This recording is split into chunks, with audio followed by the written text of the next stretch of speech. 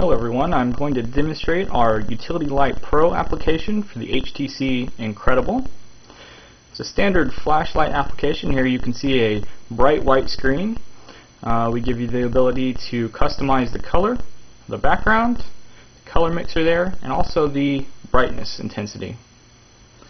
One unique feature that this application does have is the ability to toggle on and off the LED flash on the back of your Incredible. Now to do this you need to have root access to your phone and if you don't know how to do that there are plenty of tutorials on the internet. And matter of fact if we just click here on the LED flash button it'll ask once the first time you run for super user. If you click remember and allow you can see that we have now toggled on our very bright LED flash on the back of the Incredible.